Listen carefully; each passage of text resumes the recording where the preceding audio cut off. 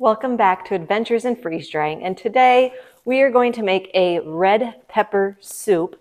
It's going to use three red peppers, two tomatoes, a yellow onion, um, some garlic, and then it's supposed to be fresh parsley, but I'm not a huge parsley person, so I'm using my leftover frozen basil since I, it's winter and I don't have any fresh basil around right now. Um, but great way to get this out of my freezer. And so we'll go ahead and get started. The first step in preparing the soup is to halve your peppers and seed them, halve your tomatoes, quarter your onion, you're going to peel and halve your garlic, and then we're just going to barely drizzle that with um, olive oil, no more than two tablespoons, and sprinkle that with a little salt and pepper, and we're going to bake that for um, 45 minutes at 375. So I'm going to go ahead and get this stuff going. Make sure you put this on parchment. It's going to make cleaning up after this has baked for 45 minutes a whole lot easier. You're not going to have all those juices blackened and stuck to your pan. They will instead be on the parchment paper, making that way easier to clean up. So I'll show you what this looks like when I have it ready to go into the oven. I have all of my veggies halved or quartered. My peppers are seeded. I did not seed my tomatoes, and I think this will be fine because first they're going to be baked and then they're going to be boiled. So I don't think the seeds are going to cause issues once they're freeze drying.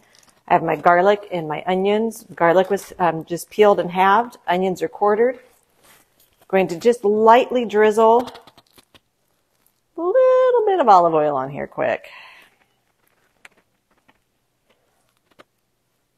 You might also notice that I made sure to have a lip all the way around on my parchment. Again, just helping to keep the juices and everything from going underneath and then turning black and really sticking to my tray. I'm now going to add a little bit of salt here. We're going to add a little bit of pepper.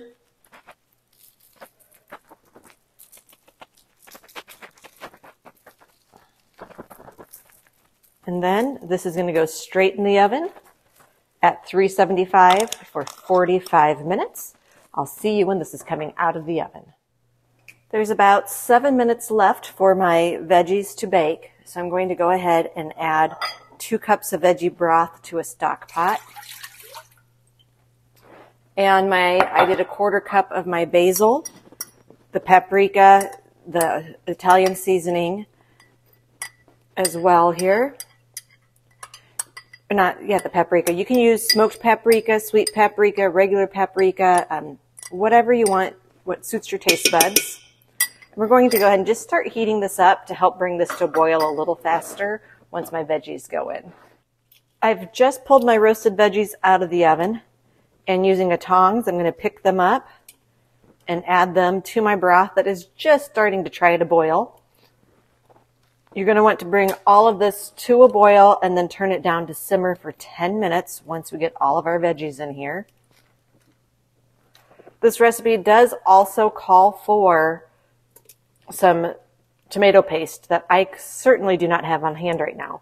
You could use, if you had freeze-dried tomatoes that you had powdered, you could add a little bit of that in here to add some more tomato flavor.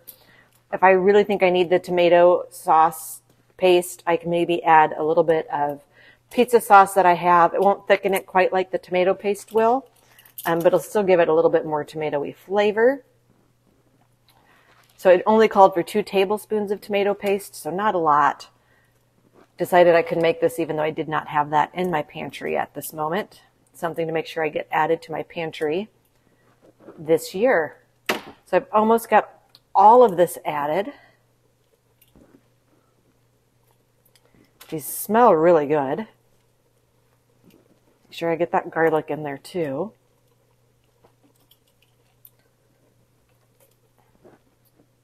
I'm going to put the lid on. Actually, I'm going to stir this well first. Just really try to break this down in there.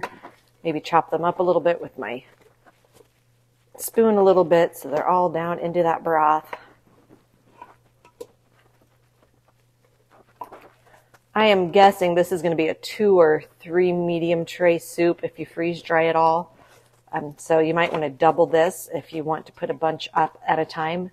Great recipe this summer when your garden is has all these fresh veggies in it. It would be a great thing to get put up for the winter. but we'll go ahead and let that come to a boil and simmer for 10 minutes. My soup just got done um, simmering for 10 minutes. I'm going to go ahead and use an immersion blender. This is my brand new one from Mueller. I believe I just have to hit a button and then I can control it on the top. So I think I'm going to turn this up all the way.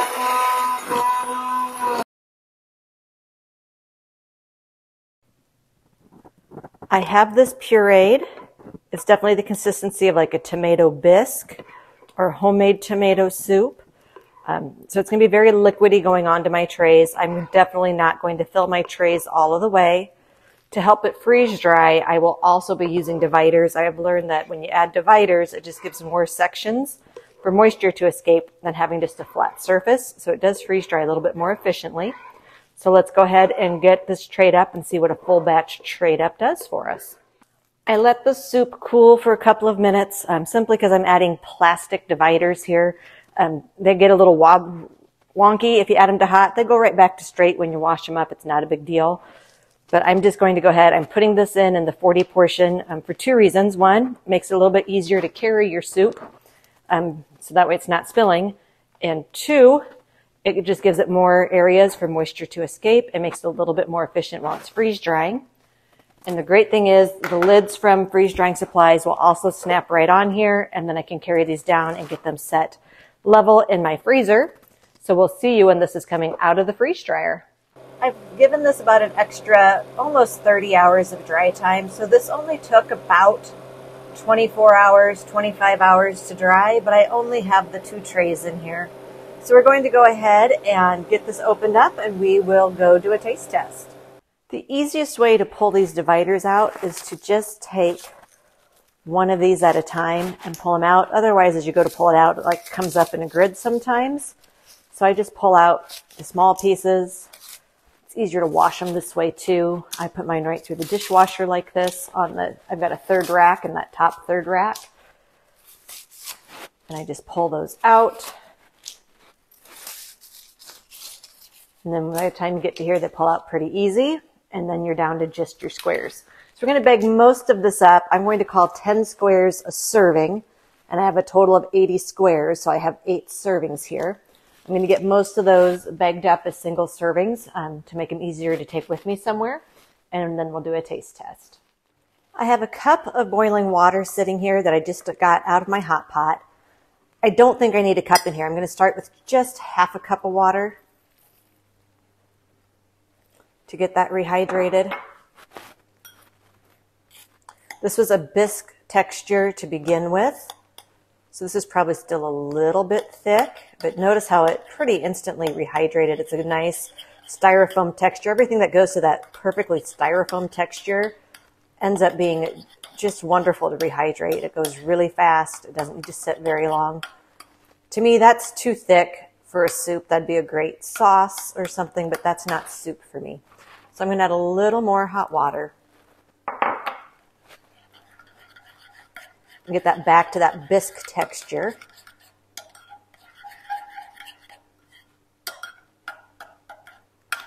Oh, this smells wonderful. Just like when I made it, it smells just like I just brought it off the stove. So again, if that was too thick for you, you could add a little bit more boiling water. Um, but I think that's exactly where I want this. So we're going to go ahead and give this a taste test. Let's go ahead and give this a try here. That is really good. Tastes just like you made it. All of these soups that are um, pureed before you eat them, they freeze dry to like this styrofoam texture and they rehydrate very quickly, fully, with full flavor. Tastes like you just made them. These are always a win in my book. You can find this recipe along with all my recipes at www.freezedryingcookbook.com. If you haven't subscribed to my channel, please do so down below. Give me a thumbs up if you like the content, and we'll see you next time on Adventures in Freeze Drying.